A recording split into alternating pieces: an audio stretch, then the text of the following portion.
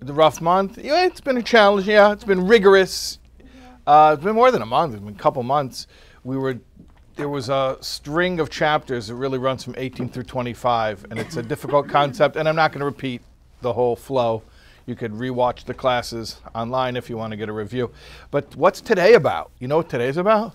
Joy. Joy. Thank you. Joy. Simcha. Yeah.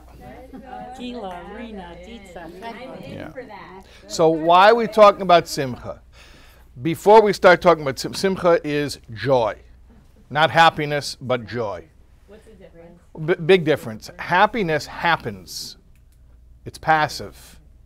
Joy is something you create. Happiness means it happens. It's happenstance. If it doesn't, it's a mishap.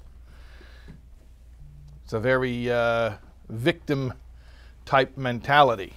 Joy is a uh, proactive decision. We're going to talk about it. But for context purposes, why are we speaking about joy now? Why is that the subject now?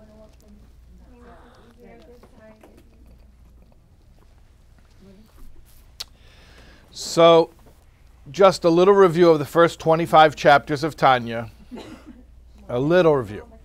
Not intense, just a little review. In chapter 1, we spoke about the fact that we have two souls. One just wants self preservation by any means necessary, and the other is altruistic. That we really learned about in chapter 2. The altruistic soul, the selfless soul, the godly soul. And we learned about the fact that they each have their own cognitive and emotional faculties, meaning their perspectives on life and the way they feel about what they believe they've perceived. And that they both express those perceptions and emotions through three behavioral um, modes of expression called thought, speech, and action. And that essentially within each of us, there are these two souls vying for who's going to gain self expression at any given moment. And that's the whole conflict of Tanya. That's basic, basic, basic Tanya. We introduced one method for handling that conflict, managing that conflict. In chapter 12, we said, well, you know what the Beinoni does, the intermediate guy, he has the inner war of the Rasha, but he exhibits behaviors as if he were a tzaddik. His tool, the first tool we learned about, is mayach shalat al impulse control. Your brain controls controls your heart, so you don't don't give in to every whim that you have. You just control yourself. Great, beautiful, wonderful tool. Then in chapter Tez Zayin and Yud Zayin, 16 and 17, we learned about a new way of explaining Me'ech Shalat Alev, the brain rules over the heart, which means that if you meditate, use your brain, you'll create emotions in your heart. Brain rules over the heart. Earlier had meant you bypass your emotions and do things that you don't want to do because they're the right thing to do. Then later on, 16 and 17, we learn about using the brain to not bypass your emotions, but to create new emotions, to get yourself congruent, emotionally congruent with the behaviors that you're committed to anyway. That you following these tools? Okay. And then after that, we said, well, what about if the tool for creating emotional congruence is taking too long? Which we know that meditation is a lengthy process, a lifelong pursuit and endeavor. Uh, so we said, okay, no problem. We have a short emergency way of doing it, 18 through 25, and I'm not going to review what 18 through 25 was, but the bottom line, the upshot of 18 through 25 was a quick way to get emotionally congruent, to get a suddenly a sudden emotional jolt, to have the motivation to do the things that we're supposed to be doing. Okay? So basically, in the first 25 chapters of Tanya, we've been presented with a pretty comprehensive system of spiritual tools for managing the inner conflict. We have the first type of Mayach Shalta Alev, which is control yourself, impulse control. We have the second type of Mayach Shalat Alev, which is meditate and create new emotions to get yourself emotionally congruent with the behaviors you got to do. And we have the, in case of emergency, break glass, the backup system, which is how to suddenly push that button, that super Jew uh, spiritual adrenaline rush that we learned about, we just finished learning about in the past eight chapters. Okay? So there you have a comprehensive system for serving Hashem. And it's pretty complete. So then, what else do we need? Remember, Tanya, the Alter Rebbe says, is to simulate the experience of coming to him asking for guidance. So if you imagine yourself with each new chapter re-entering the Alter Rebbe's room and asking him again for more guidance, you have to ask yourself, well, what am I bothering him for again this time? Why did I? I just left. Now I'm coming back in. Why am I coming back in? What's the tension that's driving this need for this next meeting? So the next issue is not that I need another tool in my spiritual toolkit. The next issue is really the, the human issue that being that we experience uh, emotions, we have moods. Even if the Alter Rebbe has given us a, a perfect system, if we lack the will or the desire to apply that system, because for whatever reason we're emotionally um, demotivated, then it's to no avail. So even if the system we've been presented with in the first 25 chapters is a wonderful system, if I'm feeling bad and therefore I'm lacking motivation, I'm not going to be able to execute and carry out that system that was presented to me. And that's basically where we're at now. In chapter 26, he deals with emotional well being because if you're not feeling good, you're not going to do anything well. You cannot execute any task well when you're not feeling good. And that includes the system that was presented to us in the first 25 chapters of Tanya. You follow what I'm saying? Okay. To help you to really cement the idea, I'm going to start reading and I'm going to present you with the metaphor that the Alter Rebbe uses at the beginning of chapter 26. Perek Havav. Brom kegein da tzarech leidai klal gadol. One must, however, know. However means um, I'm going to switch things up on you a second here notwithstanding this wonderful system we were just presented with in the first 25 chapters, there's something you, need, you still need to know. And it's a big rule. He calls it a klal gadol, a big rule.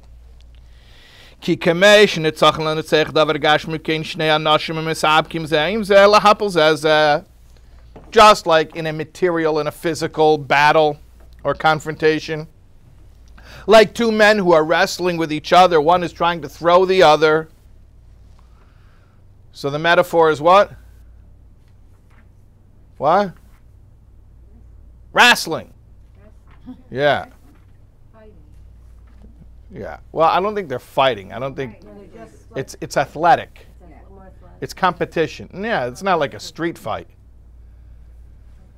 It's it's it's athleticism. They're wrestling. Well, yeah. What? It's just a metaphor. No, no, no, it's a different question. Oh, okay. Does the Tan Alter Rebbe presuppose, or is it a given that every individual is capable of having emotional well-being? Yeah. Yeah.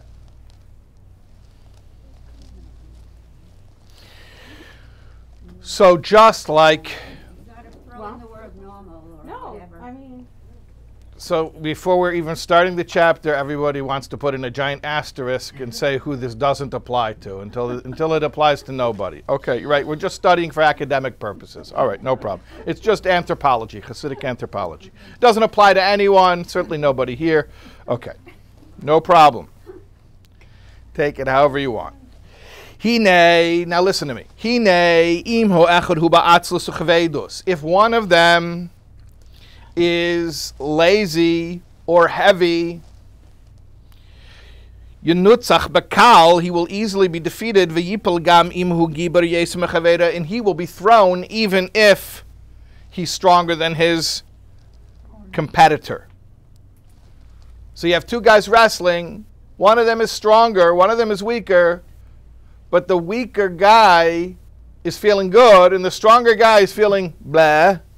And what happens? The stronger guy gets thrown by the weaker guy because of the emotional advantage, the emotional edge. The guy who's feeling good ends up defeating a stronger opponent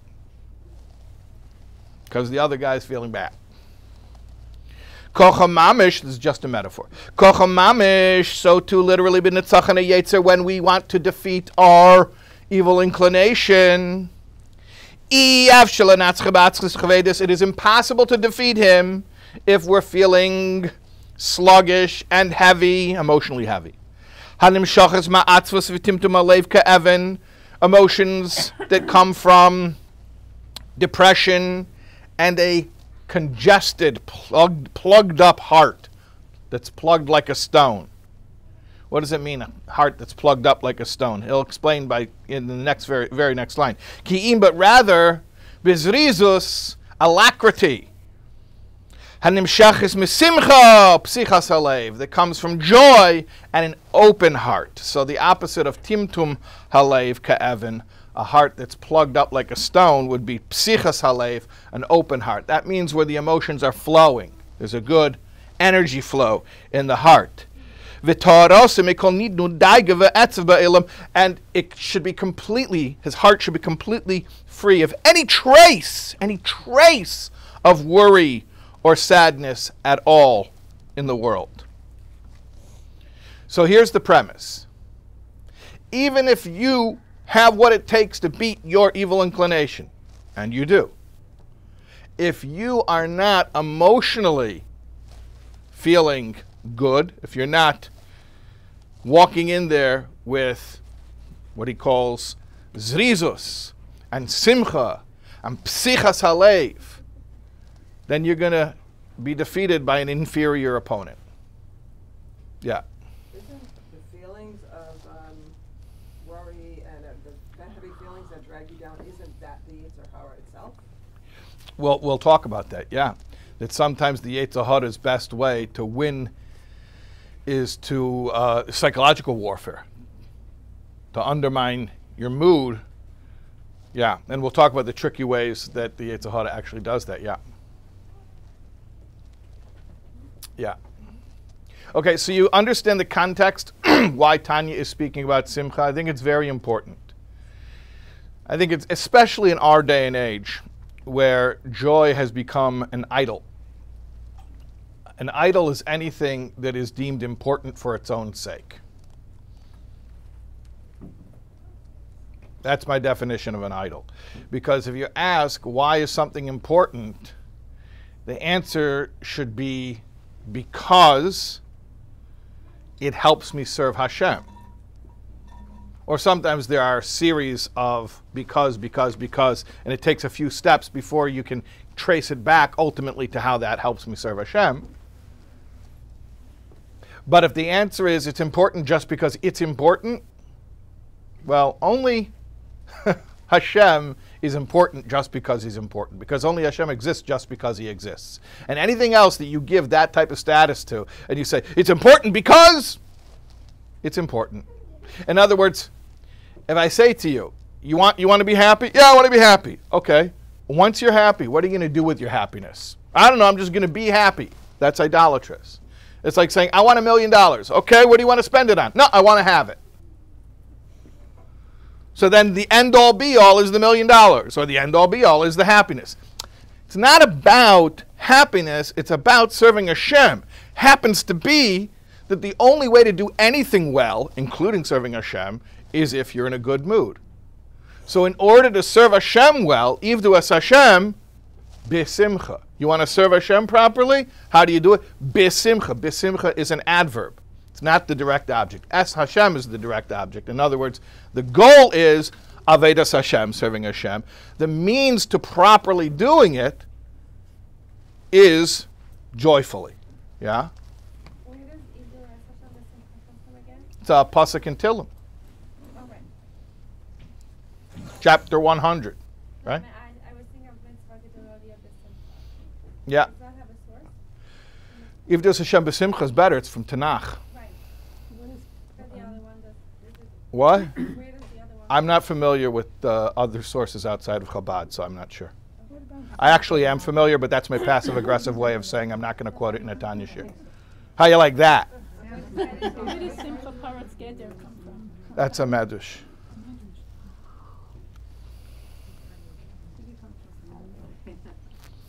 It's actually now since you not since you got me started. This is very different than mitzvah gdei liyes b'simcha because that's saying that the simcha itself is the objective. Here we're saying the avedis Hashem is the objective, and the simcha is what facilitates it and makes it possible. Hmm.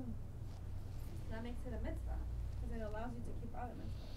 Yeah, well, eating is a mitzvah if that's how you, if that's the logic you're going to use, which is fine. It's it's true. I mean, we learned in chapter seven of Tanya that even mundane stuff that you're using for the sake of serving Hashem becomes absorbed in the holy energy of the mitzvahs that you're doing.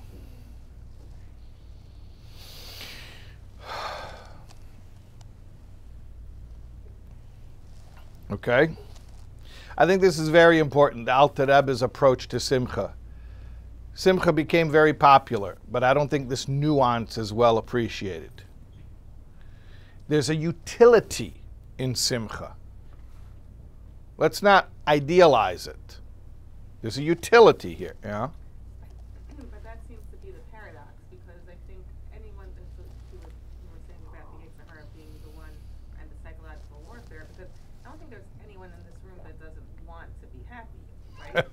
So, but, so you're basically being told, this is what's gonna happen, you're gonna go through certain Right. travails, and then you should be happy bad, so then Right. really what ends up happening is then, then, I'm sure everybody's trying, but then there's just, not only that it's, let's say it doesn't work sometimes, then there's a guilt of like, well, I, I'm not Right. serving God in the way I should be.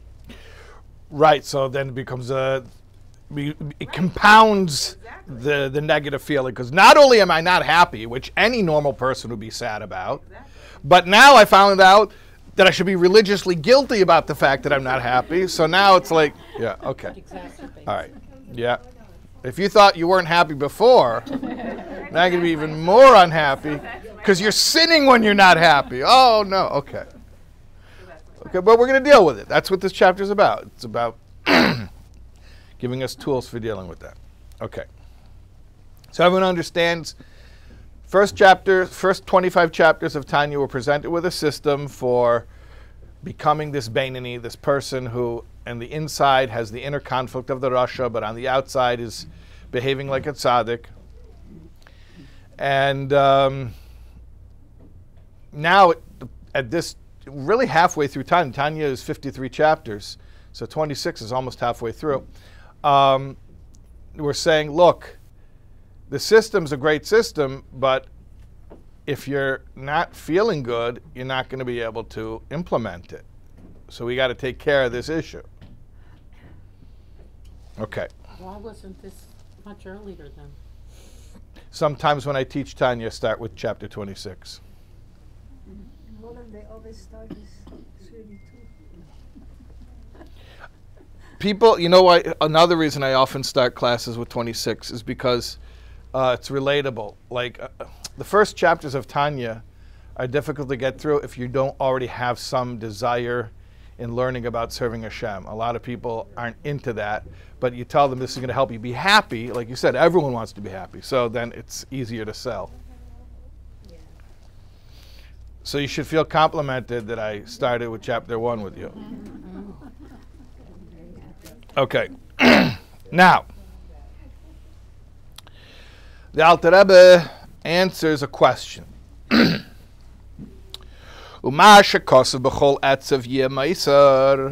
And as for what's written, Shlomo Melech says, the wisest of all men says, in every etzav, in every sadness, there will be an advantage. Well, that seems to provide scriptural proof that sadness is okay. Not only it's okay, but it's useful. So how do we deal with that? Because the Alter Rebbe just asserted a claim that sadness is going to undermine everything. But we have this verse here that says, B'chol atzav meiser, every sadness will have an advantage. Pirush, so here's what it means. That there will come from it some advantage. Hine adraba, to the contrary, meloshin zeh mashma, this wording itself implies the sadness itself has no value, rak, but rather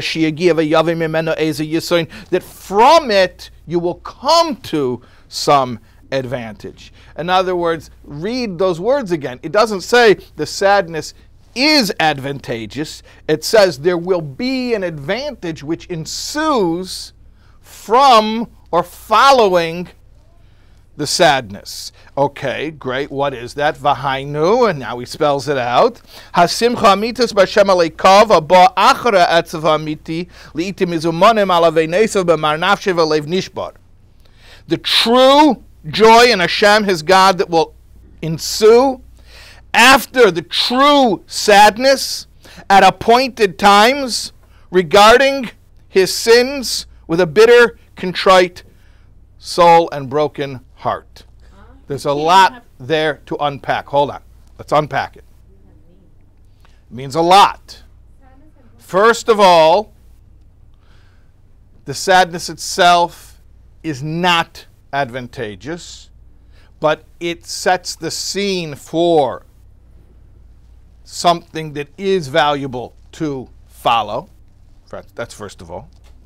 Second, another detail to pick up here is he calls it etzav ho'amiti, true sadness, or I might translate it as legitimate sadness. In other words, I'm sorry, the Alter Rebbe is implying there's such a thing called illegitimate sadness. Yeah, and he's, well, we're going to talk about it at length, about things that really you should not be sad about. There are things that you should be sad about. There are things that you should not be sad about. So, Etzav Ha'amiti means sources of legitimate sadness. And he spells out what the sources of legitimate sadness are. He's, but first of all, let me read the next words. Le'itim izumanim, at appointed times. That's key, that's crucial. It's at appointed times. It's not just in mittendrin, out of the blue.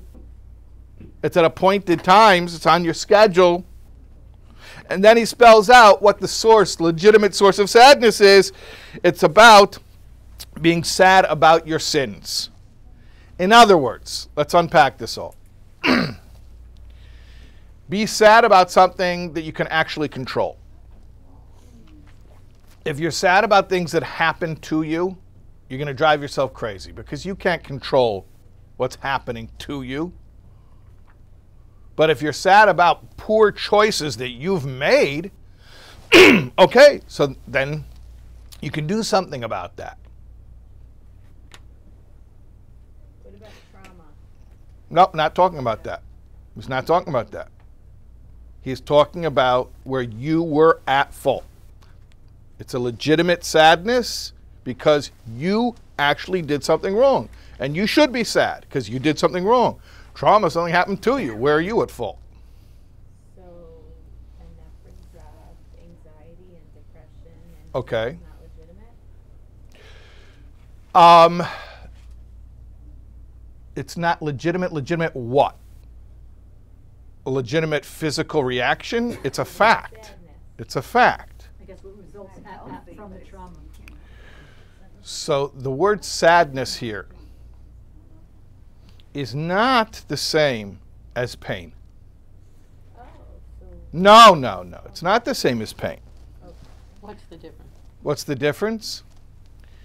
Pain is not cerebral. You don't have to think about it. In fact, it happens on a level that thinking doesn't even doesn't even begin to touch.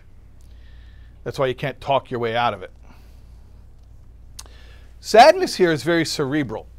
Isn't that what therapy is all about? What? Isn't that what talk therapy is? Talking. Isn't that what talk therapy is? Yeah, that's why talk therapy isn't effective on certain conditions. If you have a messed up perspective, then you can talk your way out of it. But if there's something that's not the way you're thinking, it's not your messed up thinking, it's on a deeper level, then you can't talk your way out of it. If you could control your sadness, can you control your pain? Control your pain, as het tut weh, schreit men. But I mean, like, okay, so What does that then, mean? then you When it hurts, you say ow. Right, exactly. But then you have to I mean, Decide how to feel about it. Yeah, that's a What if it's separate step. Okay, but that's a separate step. One is I'm in pain. The other is how do I feel about my pain? Those are two. Those are two separate. Okay, yeah. So that that you could control. But isn't, isn't there a thought that if I made a choice at that point, there's the siyata d'shmaya that I was meant to make that choice, even if later I find out that it was the wrong choice. But at that point, that was the choice to make. Yeah, that's that's uh, that's a perspective, but that's not. He's not talking about. uh, You know, everything has its place, but this isn't it. right here, what he's saying is this. You came to me and you were quoting King Solomon. The wisdom of Solomon said, King Solomon said that every sadness will have an advantage, and I have to address that. So he says, I'm, here's how I'll address it. It's talking about legitimate sources of sadness, which are not that something happened to you. A legitimate source of sadness is where you messed up. You deserve to feel sad. You made a bad choice. But even that, he frames it and says it has to be itim mizumonim, it has to be at appointed times.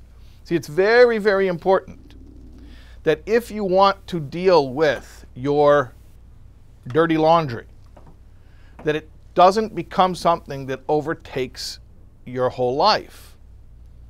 And it has to have its set times. It has to have its its place, its time and its place. Let, let's let's So let's read a little bit more because is the Alter Rebbe saying that it, everyone who has true joy has had legitimate sadness? that's an interesting question. Could it could you get true joy and avoid could you just sidestep the whole sadness? Maybe. Not sure. Maybe. And are we gonna get to pain? What chapter? Yeah, yeah, in, in- in this chapter. Yeah, yeah, yeah. Is this a multi-week chapter? Yeah, yeah, yeah, yeah, yeah. We could spend a year on this chapter, but we're not. We're, we'll, we'll see how long it'll take us to get through it. Okay. Okay.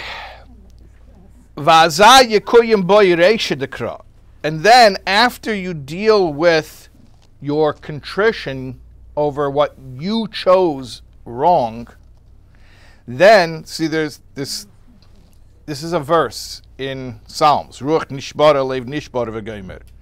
A broken spirit. Or maybe I didn't say. No. Hold on, I got to back up. I said liitim izumanim ala veinesav b'mar nafshe v'lev nishbar. Okay. Shal yedei zeh. Okay, that's where I am. Shal yedei zeh nishbara ruach hatuma v'sitra acha mechitza shel barz mafsekes beinei leve- uh, lebe- hamafsekes beinei la'aviv shebeshemayim that through breaking down this spirit of impurity, or by, through breaking his heart, he breaks the spirit of impurity, which serves as a partition between him and Hashem. Al like the Zohar says on the verse from Psalms, Ruach nishbara lev nishbar v'gomer, that a broken spirit and a broken heart Hashem will not reject. And then what ensues is the rest of the pasuk, or actually the beginning of that same verse. Tashmini sasin v'simcha v'gomer. Let me hear gladness and joy. Hashiva lisa soin yishecha. Return to me the joy of your salvation. V'ruch nidiva. And place within me a generous spirit. In other words, this is not something that you get stuck in. It's something that is a very defined process. You set an appointment, you go deal with whatever it is that you legitimately feel bad about because you did it didn't happen to you, you did it. And then you finish your session. You have to, if you don't finish your session this way, you didn't do it right, with relief that it's taken care of, it's done, I've been forgiven, we're moving on. So that's called productive sadness. Productive sadness is I feel bad legitimately. I did a bad thing. Of course I feel bad. I have a conscience. So I go set an appointment. This is not something I'm doing all day long. I set an appointment. I review what I've done, I tell Hashem, I'm sorry, and I finish feeling great that it's all cleaned up. Obviously, if it's a bein adam lechaveiro thing, or it's interpersonal relationships, I also have to go to the person I wronged. That goes without saying. V'zeu tama poshet letikun harizal, leimer mizmer ze achar tikun chatzos kedem alimud kedei lilmed b'simcha amitas b'Hashem abo achar o etzav. That's why the Arizal set it up that you say this verse that we just quoted after Tikkun Chatzos. Tikkun Chatzos is a sad prayer we say about our sins that caused the Shekhinah to go into exile. But then we say this verse in order to prepare ourselves for the joy of learning Torah, which has to be done joyfully. And this joy that comes after the sadness has a special quality of superiority like light that comes from darkness. Light that comes from darkness. And there's different ways of understanding the advantage of light that comes from darkness. Some, on one level, it's subjectively, if you've been in the dark and then you enter the, the light, it seems much more brighter.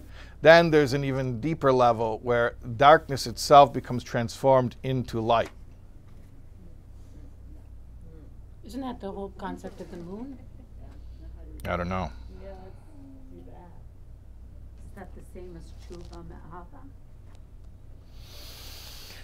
What, what we spoke about in chapter 7, tshuva me'ahava, which transforms sins into merits, um, yeah, that's an even higher level. I, he, I don't think he's stipulating it has to be of that level of tshuva, but that's a good reference. Yeah. Al pasik ein. Like it says in the Zohar on the verse, King Solomon again says, I've seen there's an advantage of wisdom over folly, like the advantage of light over dark. But you could read it not Yislein ha'oir mina cheshech, advantage of light over dark, but light mina cheshech, the light that comes from dark, meaning light which is made out of repurposed darkness. In other words, because I confronted my guilt and I finished it and I went to the bottom of it and I found forgiveness, now I turned that spiritual yuckiness into a positive feeling of being loved and embraced by Hashem. Okay, so that's the type of legitimate sadness. By legitimate sadness, what we mean is productive sadness, maybe, let's say. Sadness that's actually going to get you somewhere because it has a definite goal, it has a definite purpose. Um, if you wouldn't go into that sadness, you wouldn't be able to get the end result that happens by facing that sadness. So that's a productive sadness. You shouldn't be doing it all the time. It's only itim izumanim. It's at appointed times. But when you do set an appointment for it, it's productive. Again, why? Because it's something that you have control over. I don't feel good about what I did. I have to clean it up. I have to make a better resolution for the future. So that's a productive sadness. Umikra tachas asher lo Hashem alikecha b'simcha v'gemer Harizal al zeh. And now he goes back to the original premise of the chapter and he says, anyways, I'm talking about the importance of joy. And as we know what the Arizal said on the verse, because you did not serve Hashem with joy, there's a there's a there's a verse. Tachas asher Hashem besimcha. Umereiv. Because you did not serve Hashem with joy. The simple translation is because when life was good, you took it easy and you didn't serve Hashem, now Hashem's going to make life not so good for you. That's the regular translation of the verse. But the Arizal translates the verse and says like this Because you didn't serve Hashem joyfully, you're making a lot of problems for yourself. In other words, it is a moral imperative to serve Hashem joyfully. So let's just review what we've said. We started off and we said, you need to know the importance, the tactical importance of joy. We gave a metaphor. Two guys wrestling. One guy's weaker than the other. but he ends up winning because he's in a good mood. The other guy's stronger, he loses because he's in a bad mood. So too with the Yetzer Hara. You want to win? It's not enough that the Alter Rebbe give you 25 chapters of training. It's not enough. You got to enter your wrestling match feeling good. Then he says, well, what about when King Solomon says that there's an advantage to sadness? He says, exactly. He doesn't say that sadness itself is worthwhile. He says there can come from it an advantage, and that is in a very specific context. It depends what the sadness is about, and it depends when you're doing it. First of all, what is the sadness about? About legitimate, productive sources of sadness where you messed up, so you should feel bad. And when should that happen? Itamizumanim, at appointed times. He doesn't say so clearly, but he mentioned, remember he mentioned Tikkun Chatzos, he mentioned the midnight prayer. In other places in Chassidus, it talks about this as part of the bedtime Shema. The point is, it's not in the middle of your day. It's definitely not the beginning of your day. This is something you do like a shopkeeper takes inventory when he closes the shop and there's no more customers there, then you take inventory, or like in a year.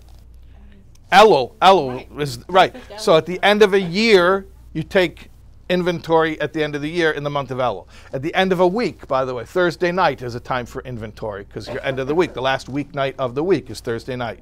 At the end of a day, before you go to bed, bedtime Shema, you take inventory. But this is not something you should be doing in the middle of the day. He'll talk about it a little bit more. He will talk about that a little bit more. More water? Do you want more water? More water? Yeah, yeah, sure. Thanks. Appreciate it.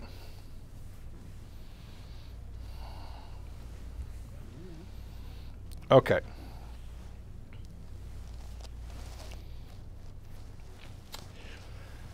Now, we're going to get into the difficult part. Yeah. Thanks.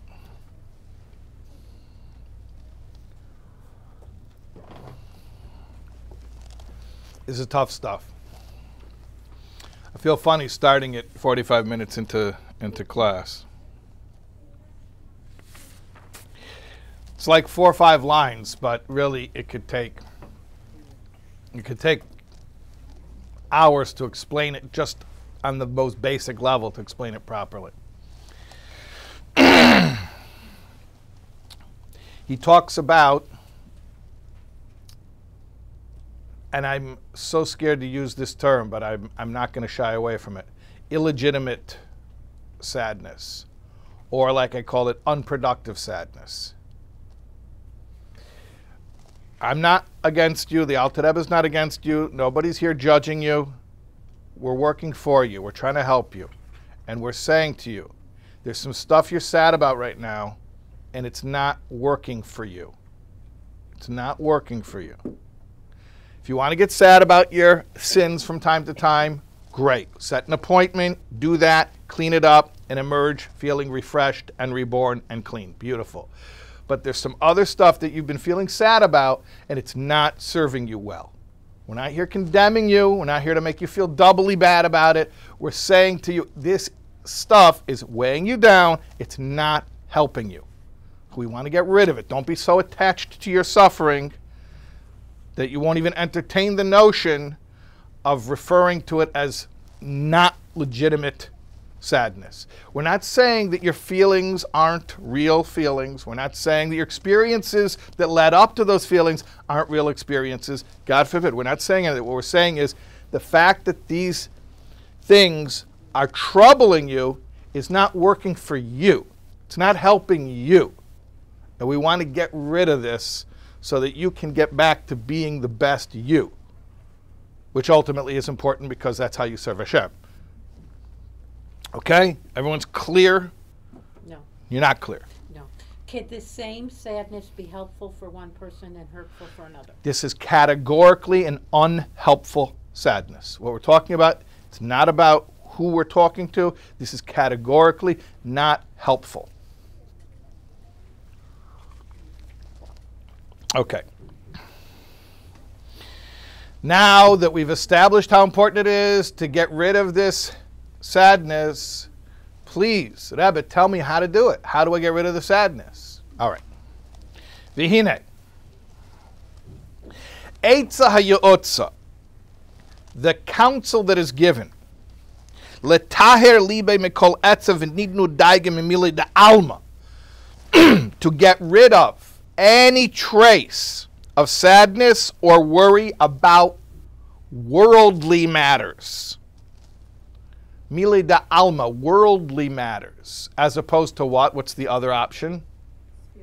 Spiritual matters.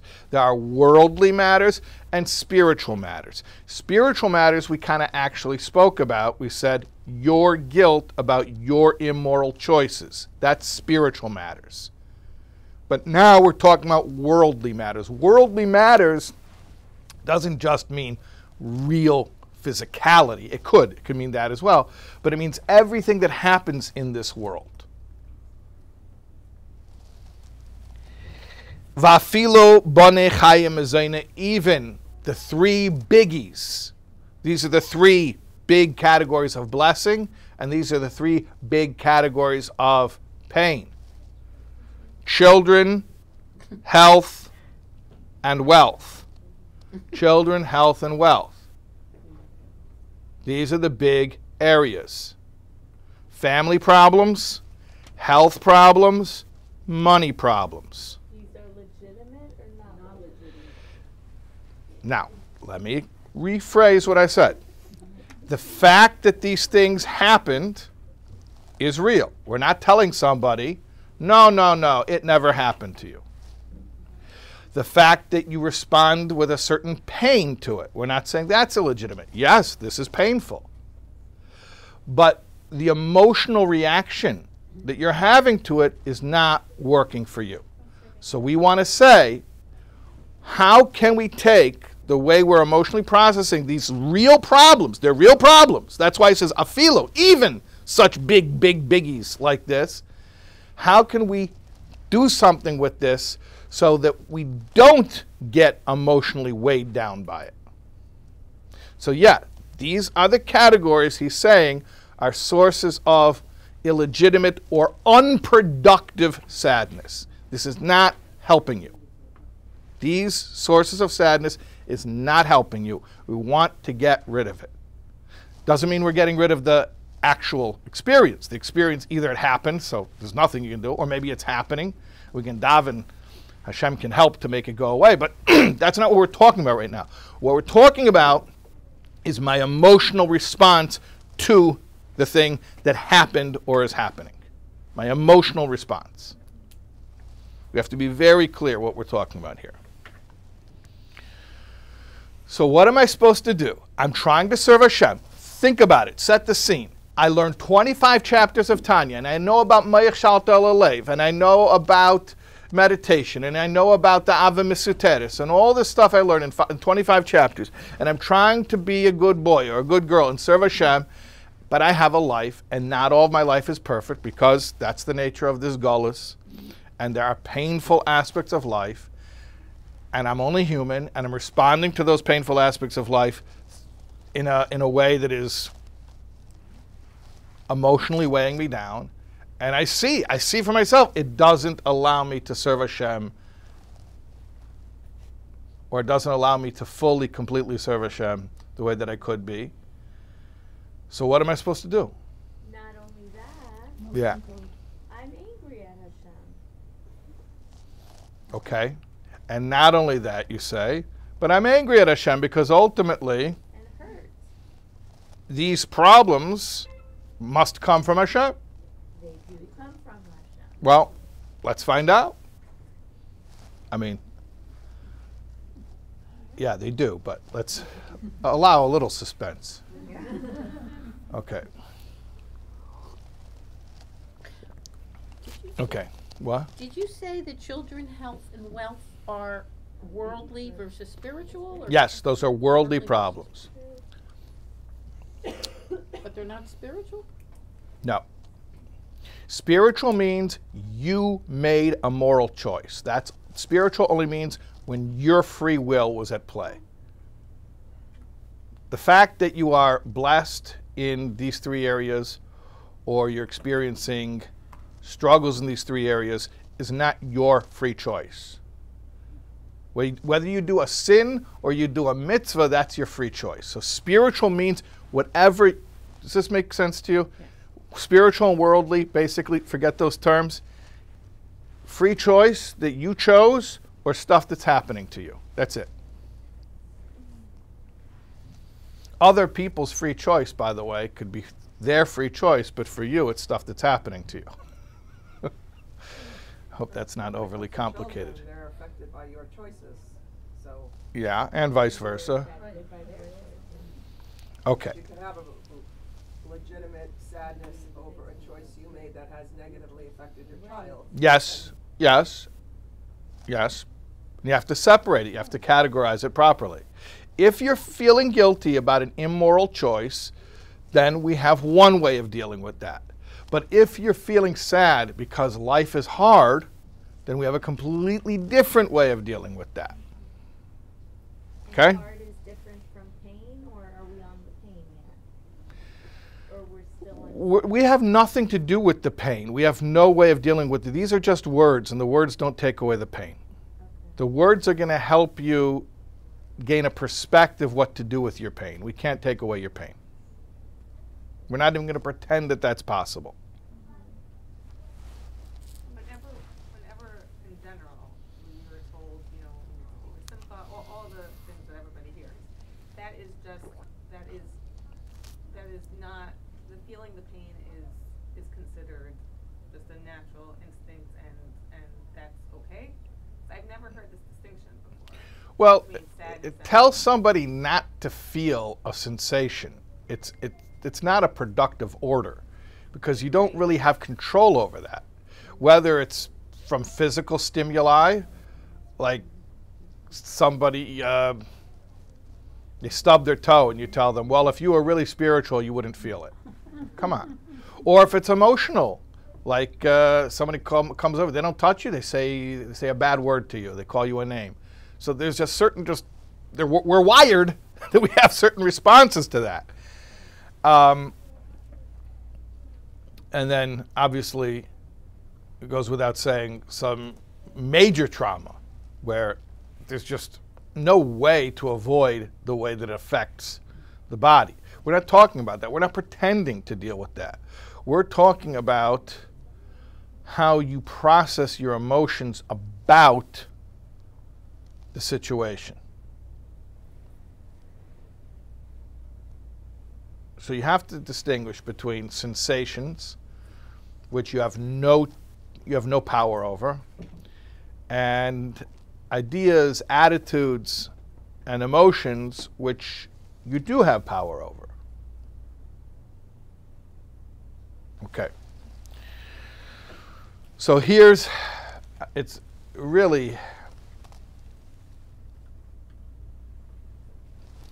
unwise to try to get into this. This is a very um, dangerous territory here because there are a lot of ways to teach this in a uh, that, that, that, hurt people. Um, and one way is if it appears in any way that we're being cavalier about people suffering and we say, well, just get over it, just move on. Says in Tanya, here's the solution, so just go and do it. And I, and I want to be very clear. The Alter Rebbe is not minimizing these types of problems. To the contrary, the first thing he does is validate that these are a serious source of anguish. He says, "Va'afilu ezein." When he says that word, the Alter Rebbe doesn't use words lightly. When he says even family, health, and money problems, what he's saying is he's legitimizing the fact that those are big sources of pain for people.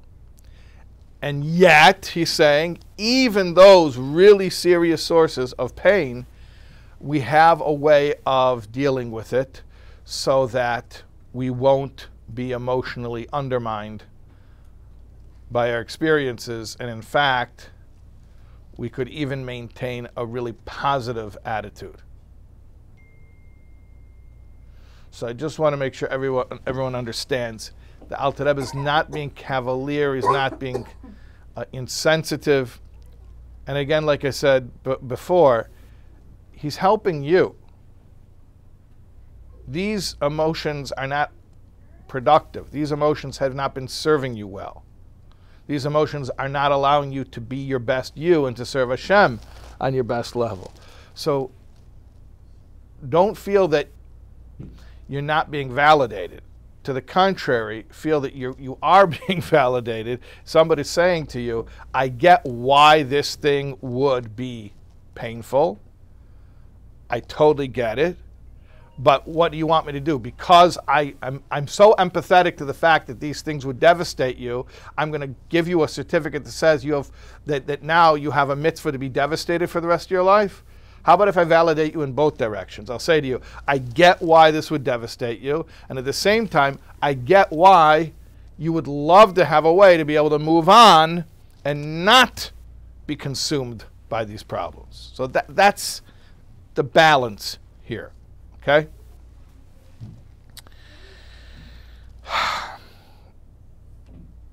Actually, pretty freeing. It's supposed to be freeing. Yeah, it's supposed to be. Okay. Should we start the method? I mean, to Paula says it's do- we, what? It's twelve. I wanna hear a little. What should we do? I wanna hear a little.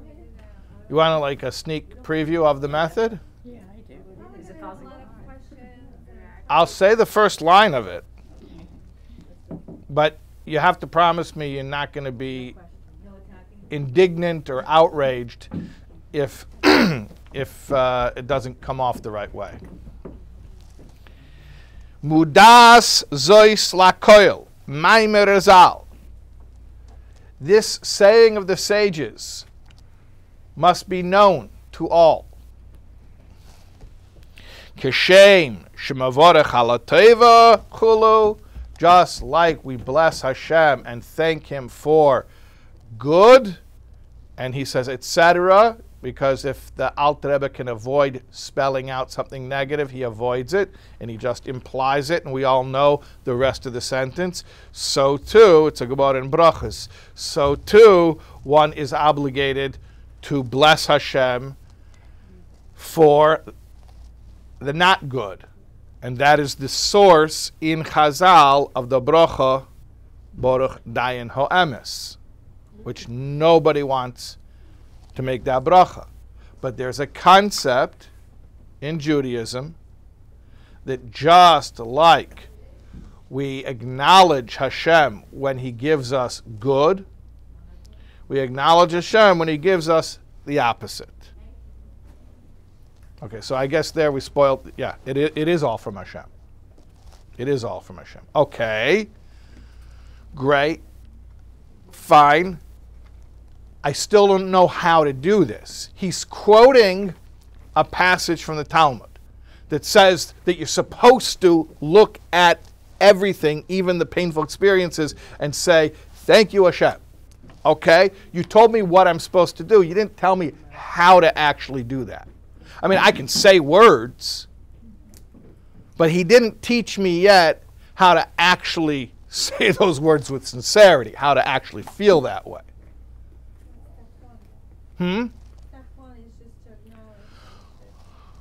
Well, Is it I don't- like a teenager getting their phone, let's say, taken away, and then they're crying and screaming, and you tell them to be quiet, stop crying, or you, I'm gonna take something else away? you want you want to cry? I'll give you something to cry about. a- No, no, that's not what it is. No, no. He's going to actually help us contextualize these types of experiences. And again, I told you, it's not going to take away the pain. That's that's an automatic response. You have no free choice over how your body processes stimuli. But on a cerebral level, the way you think about it, that we could reorganize. And we're going to reorganize the way that we view these types of experiences. This will be comforting for you. It should be comforting, yes. Yeah, and empowering, yes, and relieving and freeing, yeah. So how do we balance feeling the pain, which can become visceral Yes, and affect your body? yes, yes. The way we balance them is not balancing them. Balancing them is mishmashing them and confusing it more. Separate the two. I can be in pain, and Baruch Hashem, I'm not suffering. They're two separate things. They say that the resistance, the pain brings suffering. The resistance to the pain brings suffering, yeah, compounds the suffering. Isn't there also different the levels, like the physical, the emotional, and the thoughts? The- Yeah, there's physical pain, emotional pain. One might argue emotional pain is even worse. So we're going to the thought level to rationalize it, so it affects the, the emotional and the physical? We're not talking about sensations, we're talking about emotions. You do not have any control over your sensations. But emotions, as we learned back in chapter 3, remember we learned where emotions come from? Hein toildes chabad, that the emotions are the children of the intellect, of Chokhmah bin Das. So the way you cognitively process, that determines the emotional response. So we can do something about the emotions. But emotions are entirely separate from sensations. Having a good perspective doesn't get rid of pain, it helps you to deal better with your pain. Okay, let's continue next week.